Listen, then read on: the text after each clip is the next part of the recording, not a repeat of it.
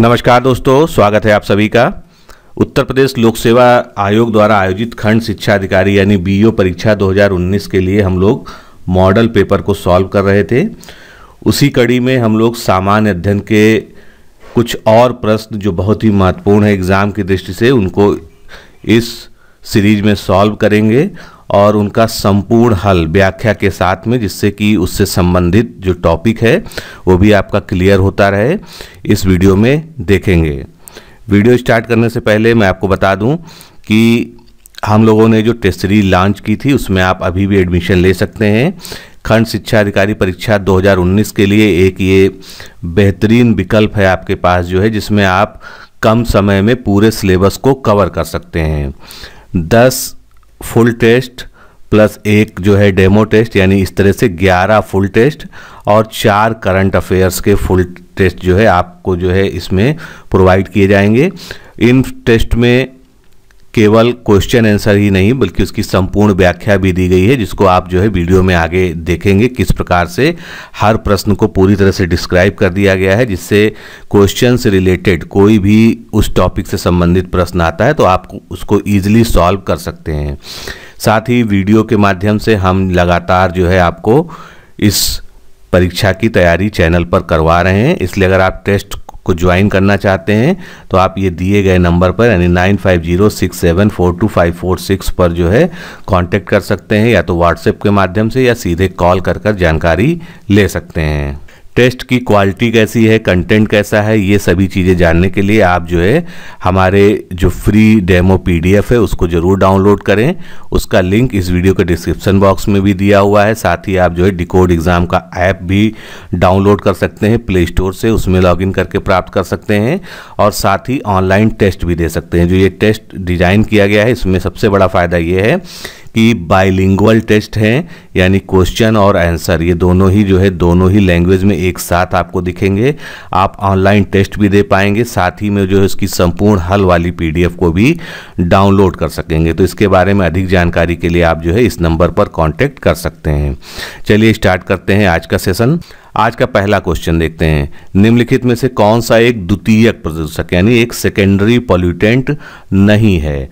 तो secondary pollutant और primary pollutant क्या होते हैं? ये अभी हम आगे डिस्कस करने जा रहे हैं।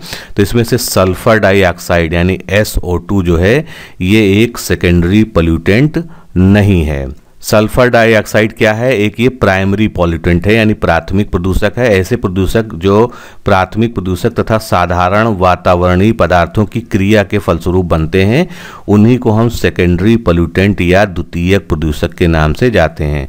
जैसे पी यानी पैन उसके बाद स्मॉग ओजोन ये सभी इसके कुछ कॉमन एग्ज़ाम्पल हैं।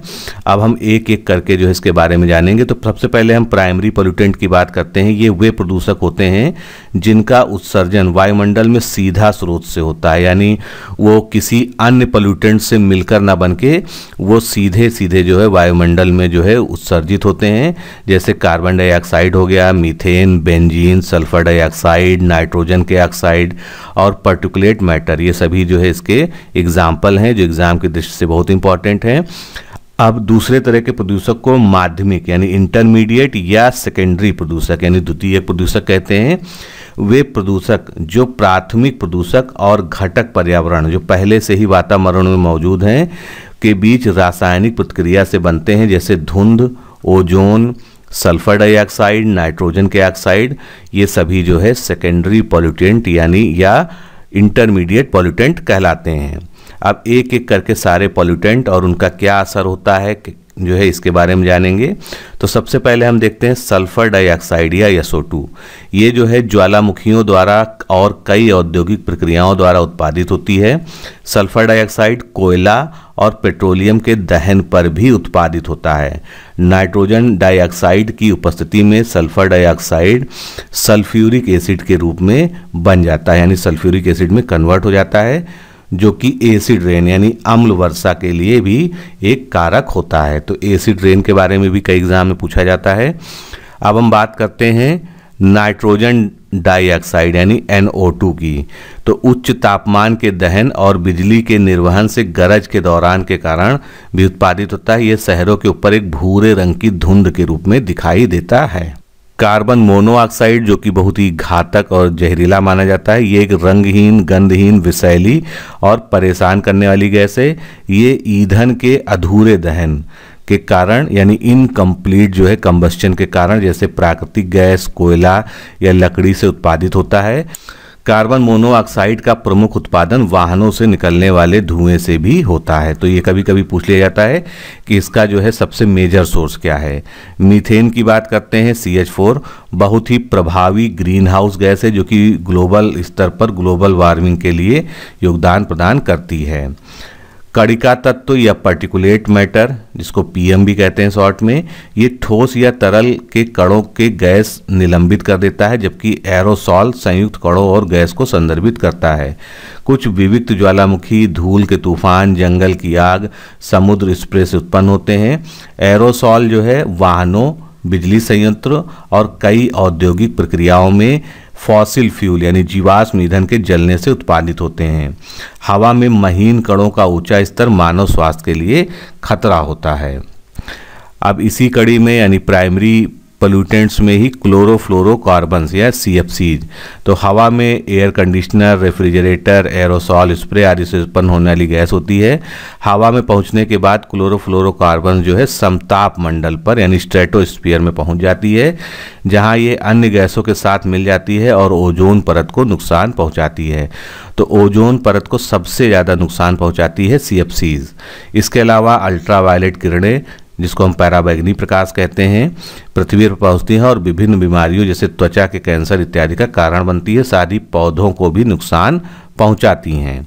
अमोनिया कृषि प्रक्रियाओं में उत्पन्न होती हैं। अमोनिया, नाइट्रोजन और सल्फ़र के ऑक्साइड के साथ प्रक्रिया करके वातावरण में माध्यमिक कणों का निर्माण करती हैं। तो ये सभी जो है पोल्यूटेंट्स के बारे में हो गया। अब प्रमुख माध्यमिक प्रदूषक, यानी जो है सेकेंडरी पोल्यूटेंट्स की हम बात करते हैं।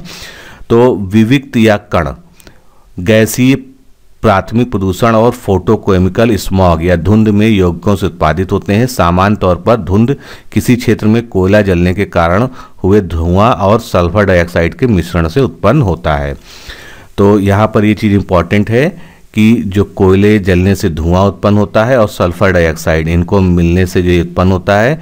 आधुनिक धुंध या यूँ कहें कि मौजूदा समय में धुंध वाहनों और औद्योगिक उत्सर्जन, जो कि सूरज से के निकलने वाली पराबैंगनी किरणों से वातावरण में क्रिया करती है और इंटरमीडिएट पोल्यूटेंट को पैदा करती है, जो कि प्राथमिक उत्सर्जन के साथ मिलकर फोटोकेमिकल स्मॉग उत्पन्न करती है। फिर अगला जो है मेजर सेकेंडरी पोल्यूटेंट कौन सा है? पर एसिटाइल नाइट्रेट जिसको हम पैन कहते हैं शॉर्ट में तो फोटोकेमिकल स्मॉग में ये मौजूद है। ये उष्मा इकाई के रूप में अस्थिर और और पराक्सी इथाइनाइल कण और नाइट्रोजन डाइऑक्साइड गैस में विखंडित होती है। जब इथेनॉल को वाहनों के ईंधन के रूप में प्रयोग किया जाता है तो इसका गठन हानिकारक हो जाता है। परिणाम स्वरूप एस्टल्डिहाइड के उत्सर्जन में वृद्धि होती है, जो वातावरण में प्रतिक्रिया करके धुंध या स्मॉग जो है बनाती है। एसिड ड्रेन के बारे में प्राय क्वेश्चन पूछे जाते हैं। तो एसिड ड्रेन या अम्ल वर्षा क्या है? ये स, ये जो है वायु प्रदूषण का परिणाम होती है। जब किसी भी तरह का ईंधन जलता है और विभिन्न अन्य रसायनों का उत्पादन होता है तो आग से निकलने वाला धुआँ या कार से निकलने वाला धुआँ न केवल गहरे स्लेटी कणों से बने होते हैं बल्कि उनमें कुछ अदृश्य गैसों का भी समावेश होता है जो कि वातावरण के लिए ज़्यादा हानिकारक होती हैं। इनमें से कुछ गैसें जैसे कि नाइट्रोजन ऑक्साइड और सल्फ़र डाइऑक्साइड के रूप में बादलों में पानी की बूंदों के साथ मिलकर प्रतिक्रिया कर कर कुछ सल्फ्यूरिक अम्ल और नाइट्रिक एसिड बनाती है। और ये बारिश के रूप में जो है नीचे आ जाता है, जिसको हम अम्ल वर्षा के नाम से जानते हैं। अम्ल वर्षा बर्फ़, धुंध और सूखी धूल के रूप में भी हो, ले सकती है। अम्ल वर्षा का मिट्टी पर, पेड़ पर, इमारतों पर और पानी पर जो है गंभीर प्रभाव पड़ता है। अगला प्रश्न देखते हैं, पृथ्वी अंतरिक्ष सीमा की जानकारी प्राप्त करने के लिए किस के द्वारा आइकन सेटेलाइट को लॉन्च किया गया है? तो ये जो आइकन सेटेलाइट है, ये नासा के द्वारा हाल ही में लॉन्च किया गया है। नासा द्वारा आइनोस्फेरिक कनेक्शन, यानी आइकॉन एक्सोप्लोरर सेटेलाइट को फ्लोरिडा तट के पास से अटलांटिक महासागर के ऊपर से एक विमान से लॉन्च किया गया था। यह सेटेलाइट पृथ्वी के ऊपर वातावरण का अध्ययन करेगा, साथ ही यह भी पता लगाएगा कि कहाँ पर अंतरिक्ष तथा हवा का मेल होता है। यानी अंतरिक्ष की सीमा को डिसाइड करने का कि वायुमंडल कहाँ पर ख़त्म होता है और अंतरिक्ष कहाँ शुरू होता है। आइकन के साथ चार उपकरण को भी अंतरिक्ष में भेजा गया है, जो कि हवा की गति, तापमान, आयनों की गति आदि को मापने का काम करेंगे। अब हम साइंस से जुड़े कुछ जो है लेटेस्ट जो घटनाक्रम है, यानी जिसको हम कह सकते हैं कि साइंस एंड टेक्नोलॉजी से रिलेटेड करंट अफेयर्स हैं, उसको हम यहाँ पर देखते हैं। तो सबसे पहले बात करते हैं चक्रवात बुलबुल। ये कहाँ पर आया था? नवंबर 2019 में बंगाल की खाड़ी में उत्पन्न हुआ था। और ये पश्चिम बंगाल, उड़ीसा, अंडमान, निकोबार द्वीप समूहों, राज्य केंद्र शासित प्रदेशों में इसके लिए अलर्ट जारी किया गया था। अब एक यहाँ पर इंपॉर्टेंट फैक्ट ये है कि इस चक्रवात का नामकरण पाकिस्तान के द्वारा किया जाता है, क्योंकि लगातार जो है एशियन कंट्रीज़ के द्वारा जो है, क्रमबद्ध तरीके से चक्रवातों का नामकरण किया जाता है। जलवायु आपातकाल यानी क्लाइमेट इमरजेंसी की घोषणा, ये नवंबर 2019 में विश्व के एक सौ तिरपन देशों के लगभग ग्यारह हज़ार वैज्ञानिकों ने क्लाइमेट इमरजेंसी की घोषणा की। बायो साइंस नामक जो है पत्रिका में छपे लेख में ग्यारह हज़ार दो सौ अट्ठावन वैज्ञानिकों में से 69 भारतीय वैज्ञानिकों के भी हस्ताक्षर हैं।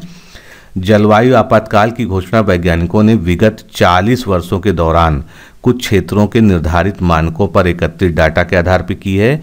ये घोषणा ऊर्जा उपयोग, सतह के तापमान, जनसंख्या की वृद्धि, भूमि समाशोधन, वनों की कटाई ध्रुवी बर्फ़ का द्रव्यमान प्रजनन दर इत्यादि के वैज्ञानिक विश्लेषण पर आधारित हैं जो पर्यावरण को लगातार क्षति पहुँचा रहे हैं।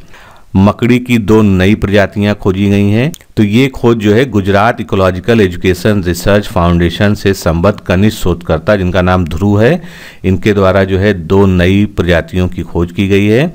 मकड़ी की नई प्रजातियाँ एशिया की कुद मकड़ी, यानी एशियन जंपंग स्पाइडर के वंश इंडो मरेंगो और मरेंगो वंश के अंतर्गत आती हैं।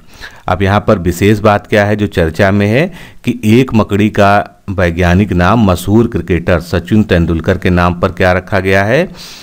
मैरेंगो सचिन तेंदुलकर और दूसरी मकड़ी का नाम, वैज्ञानिक नाम जो है, केरल के एक संत हैं, कुरियोस्कोर इलियास चावरा।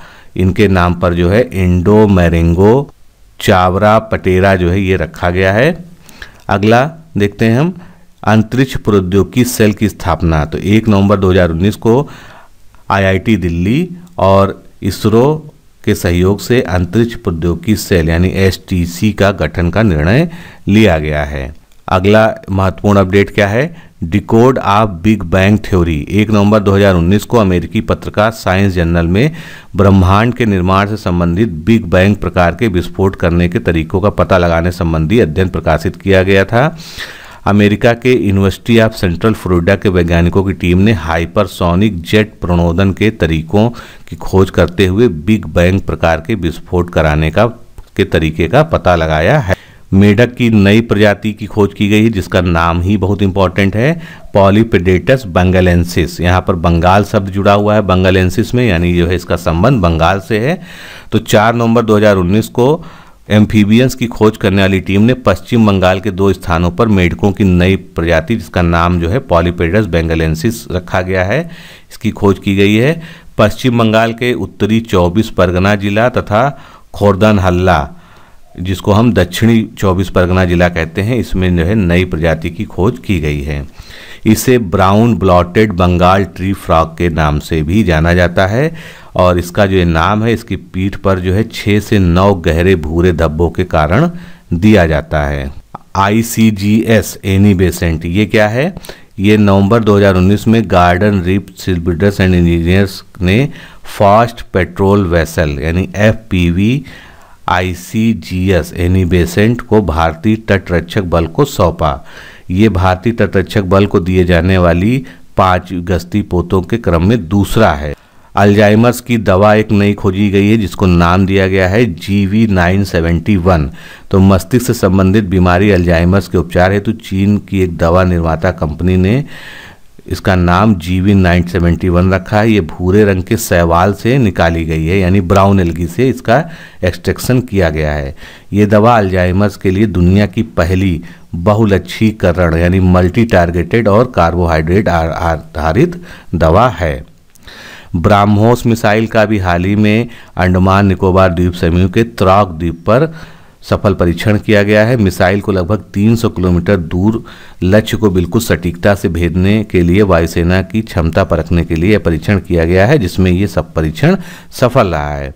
अब बात आती है इसका विकास किसने किया है? तो इसका विकास भारत के डीआरडीओ और रूस के एनपीओ मसीनोट्रोनिया नामक जो है एक वहाँ की कंपनी है। इसके संयुक्त उपक्रम ब्राह्मोस एयर स्पेस द्वारा किया गया है। ग्यारहवा परमाणु ऊर्जा सम्मेलन जो 2019 में आयोजन हुआ, ये होटल ली मार्डियन नई दिल्ली में संपन्न हुआ। तो स्थान यहाँ पर बहुत इम्पोर्टेंट है कि ग्यारहवा परमाणु ऊर्जा सम्मेलन कहाँ पर आयोजित हुआ तो आपका उत्तर होगा नई दिल्ली। इस सम्मेलन का जो थीम था, वो क्या था? परमाणु ऊर्जा का अर्थशास्त्र सुरक्षित और किफ़ायती प्रौद्योगिकियों की दिशा में नवाचार। इंग्लिश में, economics of nuclear power innovation towards safer and cost effective technologies. इसका आयोजन इंडिया एनर्जी फोरम के द्वारा किया गया। नई एंटीबायोटिक खोजी गई है, जिसको नाम दिया गया है फेजोलिसिन। तो अक्टूबर 2019 में वैज्ञानिकों ने एक अंतर्राष्ट्रीय दल ने मैक्सिको के जंगलों में एक नए एंटीबायोटिक की खोज की है। इस नए एंटीबायोटिक को फेजोलेसिन नाम दिया गया है। ये मैक्सिको के उष्णकटिबंधीय जंगलों में पाए जाने वाली मिट्टी में उपस्थित जीवाणु के द्वारा निर्मित किया गया है। सबसे इंपॉर्टेंट जो इस श्रृंखला में है, वो क्या है? सनी के 20 नए उपग्रह खोजे गए हैं। तो अब जो है सर्वाधिक उपग्रह वाला यानी सर्वाधिक प्राकृतिक उपग्रह वाला ग्रह कौन सा बन गया है? शनि। यही सबसे ज़्यादा ज़रूरी है। तो अंतर्राष्ट्रीय खगोलीय संघ के माइनर प्लेनेट सेंटर द्वारा शनि के 20 नए उपग्रहों की खोज की गई है।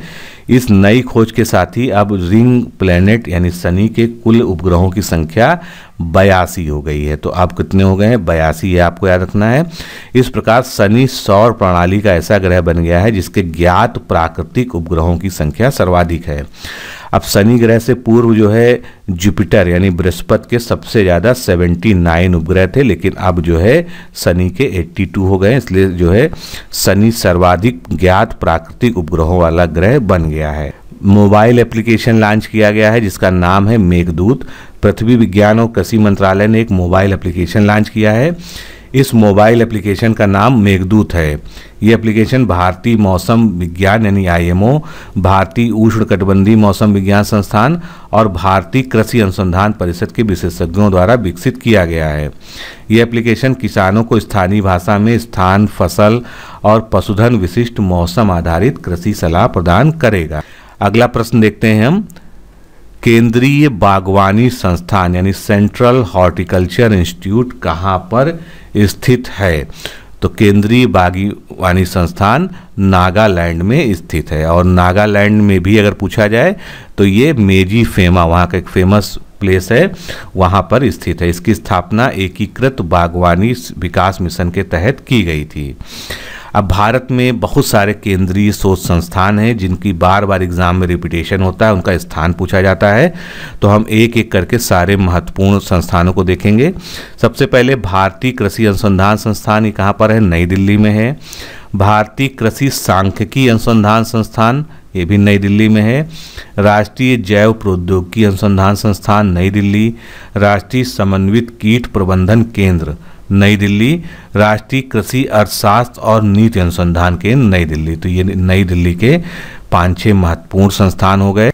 आगे देखते हैं, राष्ट्रीय डेयरी अनुसंधान संस्थान करनाल में है, पूछा जा चुका है कई बार। केंद्रीय मृदा लवणता अनुसंधान संस्थान ये भी करनाल में है।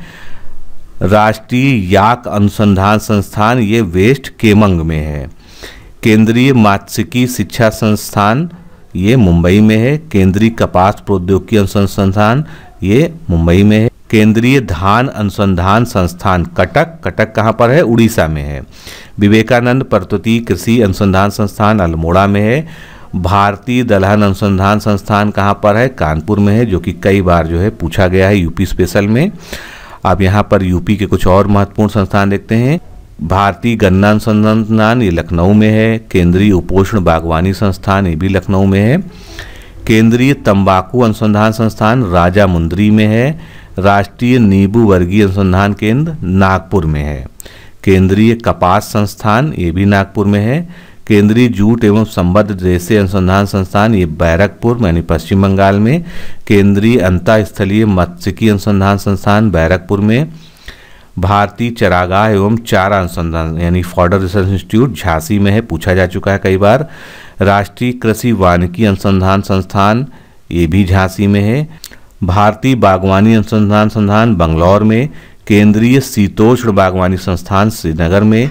केंद्रीय शुष्क बागवानी संस्थान, ये बीकानेर में है, और साथ ही में राष्ट्रीय ऊँट अनुसंधान केंद्र, ये भी बीकानेर में है। फिर बहुत इंपॉर्टेंट है। भारतीय सब्ज़ी अनुसंधान संस्थान, ये वाराणसी में है, कई बार क्वेश्चन आ चुका है। केंद्रीय आलू अनुसंधान संस्थान शिमला में है। केंद्रीय कंदी फले अनुसंधान संस्थान त्रिवेंद्रम में। केंद्रीय रोपण फ़सलें अनुसंधान संस्थान, ये कासरगोड में है। केंद्रीय कृषि अनुसंधान संस्थान, ये पोर्ट ब्लेयर में है, यानी अंडमान निकोबार में। भारतीय मसाला अनुसंधान संस्थान कालीकट में है। केंद्रीय मृदा और जल संरक्षण अनुसंधान एवं प्रशिक्षण संस्थान कहाँ पर है? देहरादून, उत्तराखंड में। भारतीय मृदा विज्ञान संस्थान भोपाल में है। इंपॉर्टेंट है, पूछा जा चुका है। केंद्रीय कृषि अभियांत्रिकी संस्थान ये भी भोपाल में है। पूर्वी क्षेत्र के लिए भारतीय कृषि अनुसंधान परिषद मखाना केंद्र सहित ये कहाँ पर है? पटना में है, यानी बिहार में। केंद्रीय शुष्क भूमि कृषि अनुसंधान संस्थान ये हैदराबाद में है। राष्ट्रीय कृषि अनुसंधान एवं प्रबंध अकादमी। ये हैदराबाद में है। राष्ट्रीय मांस अनुसंधान संस्थान ये हैदराबाद में है। केंद्रीय शुष्क क्षेत्र अनुसंधान संस्थान जोधपुर में है। राष्ट्रीय अजैविक दबाव प्रबंधन संस्थान ये मालेगांव, महाराष्ट्र में है। केंद्रीय कटाई उपरांत अभियांत्रिकी एवं प्रौद्योगिकी संस्थान लुधियाना।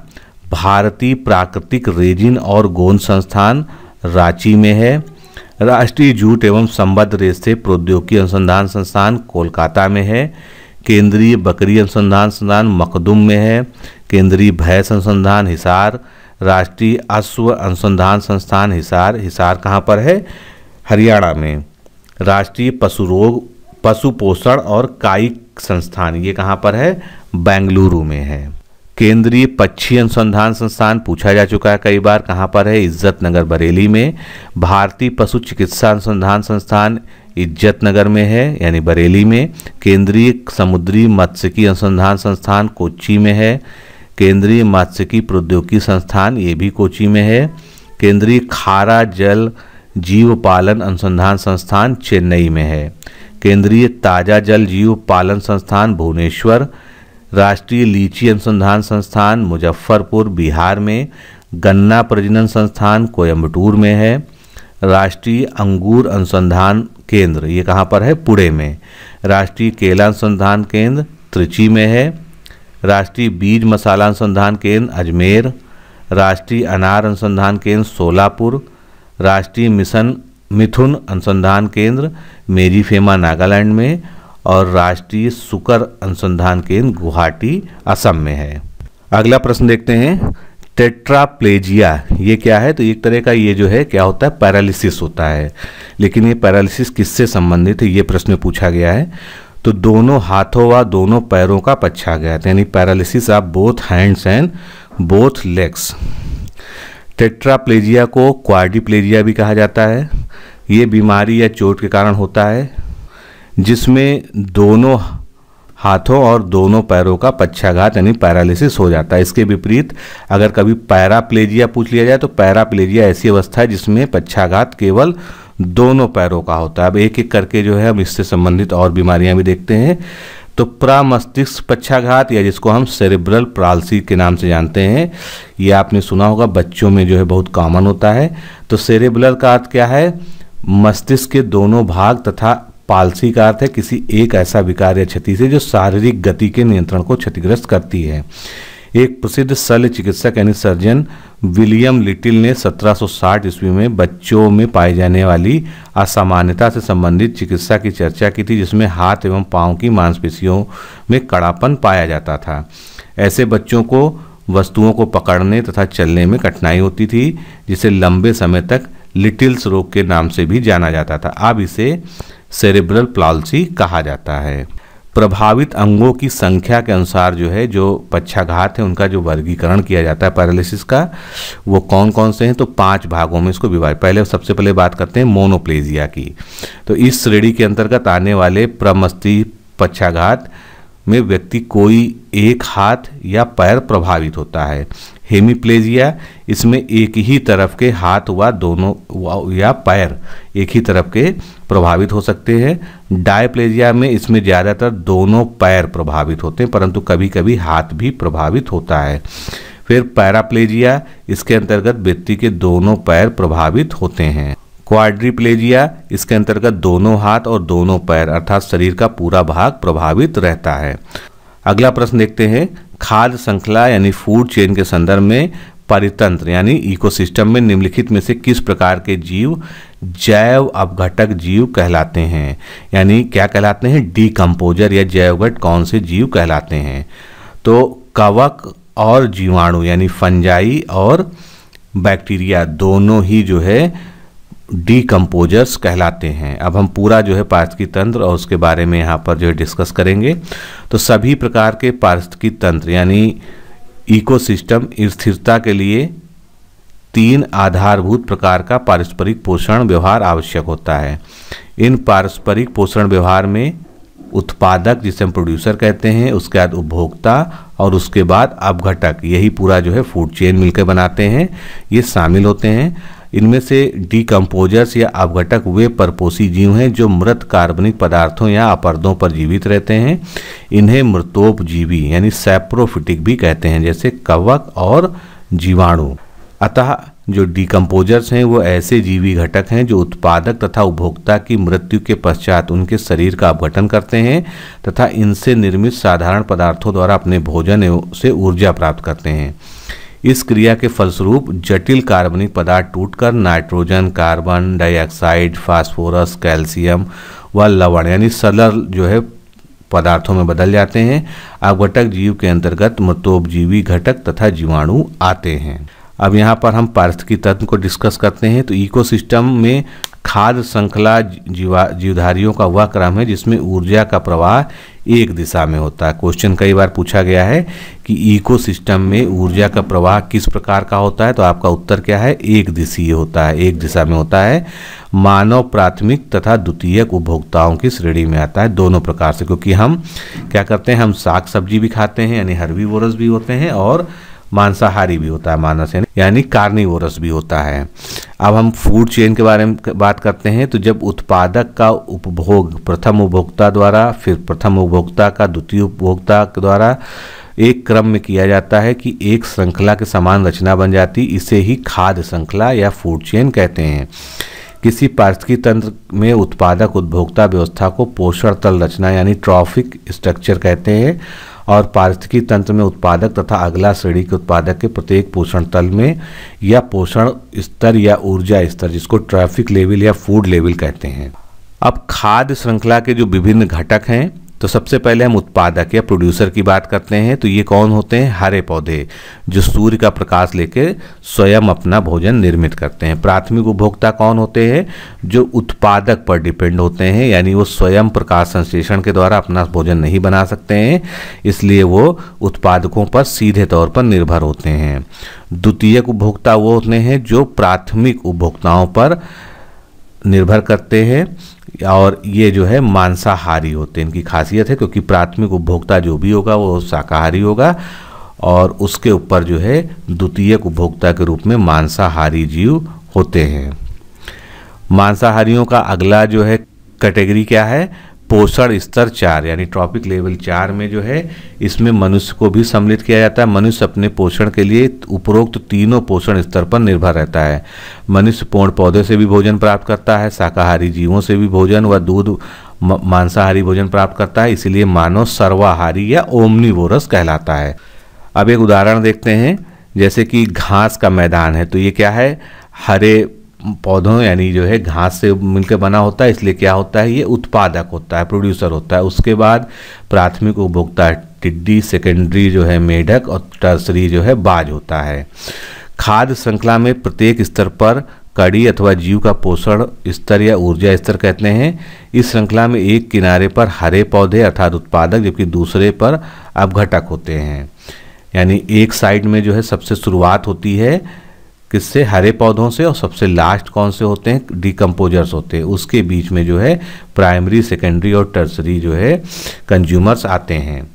तो सब, अब हम कई सारी जो है, प्रकृति में खाद श्रृंखलाएँ पाई जाती हैं, जिनमें तीन प्रमुख होती हैं। तो तीन प्रमुख फ़ूड चेन में पहला क्या है? चारण आहार श्रृंखला या ग्रेजिंग फ़ूड चेन ये आहार श्रृंखला हरे पौधों से प्रारंभ होती है और हरे पौधे सूर्य के प्रकाश पर प्रत्यक्ष रूप से निर्भर होते हैं। अतः क्लोरोफिल और सूर्य के प्रकाश की उपस्थिति में अपने भोजन का निर्माण स्वयं करते हैं। इस प्रक्रिया को प्रकाश संश्लेषण या फोटोसिंथेसिस के नाम से हम जानते हैं। सामान्यतया अधिकांश पारिस्थितिक तंत्र में चारण श्रृंखला पाई जाती है। इस श्रृंखला में हरे पौधे जैसे घास और इसके चरने वाले तथा मांसाहारी जीव आते हैं।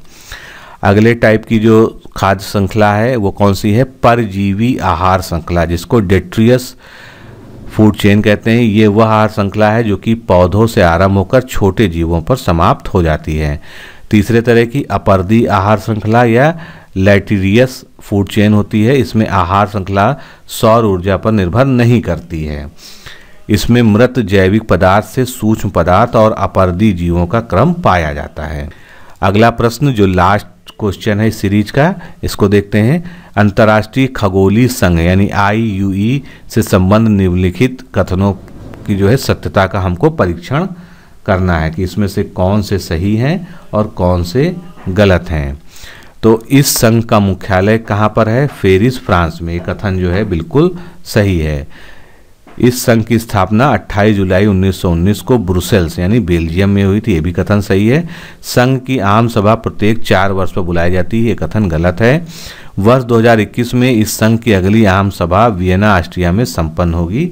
ये भी कथन बिल्कुल गलत है। तो इस तरह से एक और दो ही इसमें सही हैं। अब इसके बारे में जो है और जानकारी देखते हैं। तो अंतर्राष्ट्रीय खगोलीय संगठन आई आई इसकी स्थापना 28 जुलाई 1919 को ब्रुसेल्स, बेल्जियम में हुई थी। मुख्यालय इसका पेरिस, फ्रांस में है।